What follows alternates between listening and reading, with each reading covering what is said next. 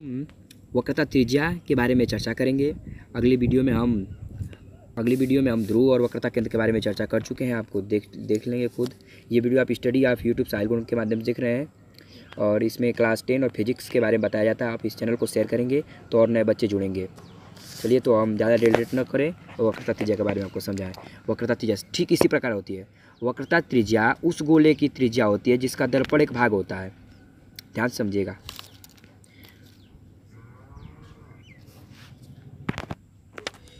वक्रता त्रिज्या।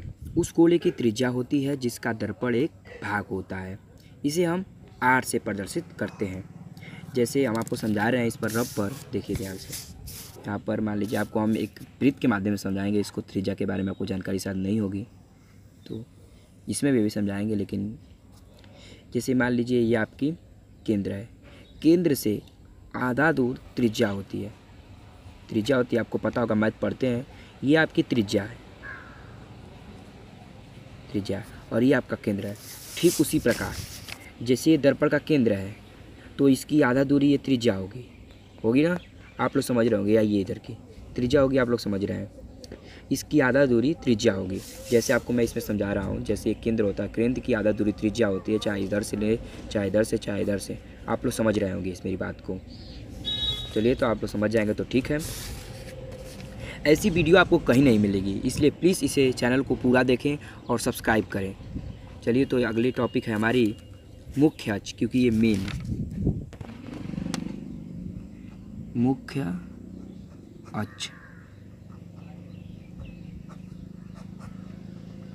आप लोगों को सबसे पहले हम बता दें, मुख्य अच किसे कहते हैं? ये जो आप लाइन देख रहे हैं, इसे हम मुख्य अच कहते हैं। मुख्य अच जैसे इसकी में परिभाषा बता जाए ध्रुव और वक्रता केंद्र से गुजरने वाली रेखा को मुख्य अच कहते हैं। इसकी आसान परिभाषा। लिख कर आपको समझा दे रहे हैं। मुख्य अच दर्पण, ध्रुपी वक्रता केंद्र सी से गुजरने वाली रेखा को मुख्य अच कहते हैं। आपको हम चित्र के माध्यम समझा चुके हैं कौन सी रेखा है। तो आप लोग आशा करता हूँ ये समझ गए होंगे। और मैं अगली टॉपिक मेरी है मेन टॉपिक इंपॉर्टेंट टॉपिक है इस वीडियो की, सबसे इंपॉर्टेंट टॉपिक फोकस इसको ध्यान से समझिएगी।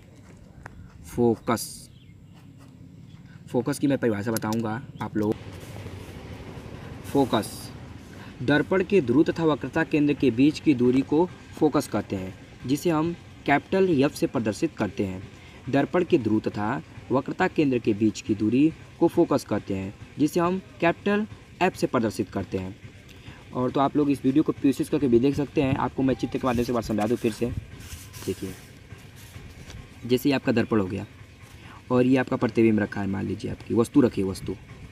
ये वस्तु रखिए वस्तु जाकर दर्पण से टकराएगी, फिर फोकस को काटते हुए इधर आएगी, फिर वक्रता केंद्र से काट फोकस दूरी, देखिए। दर्पण के ध्रुव तथा फोकस के बीच की दूरी को मुख्य फोकस दूरी कहते हैं।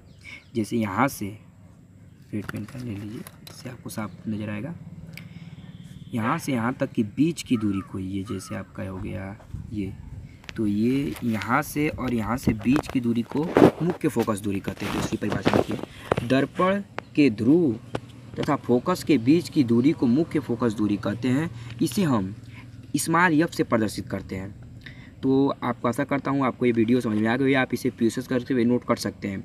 और ये वीडियो आप स्टडी आप यूट्यूब साहिल के माध्यम से देख रहे हैं।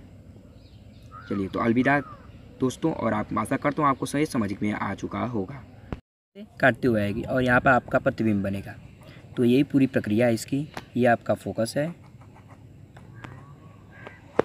आशा करता हूँ आप ये समझ गए होंगे फोकस। और इस वीडियो को सब्सक्राइब करिए और शेयर करिए। और अच्छी लगी तो लाइक भी करिए। कमेंट करेंगे तो मैं आप सबके कमेंट पढ़ता हूँ और आप लोग कमेंट करिए। चलिए अलविदा करते हैं। अगली वीडियो फिर बनाएँगे।